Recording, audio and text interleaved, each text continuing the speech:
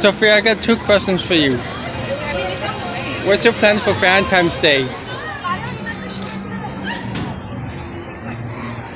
Eating a lot of food? And what's your favorite memory?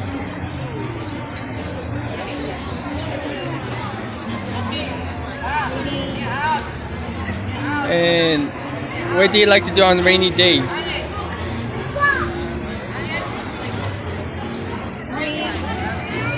Thank you. Cuddle up with a blanket, some hot chocolate. Thank you.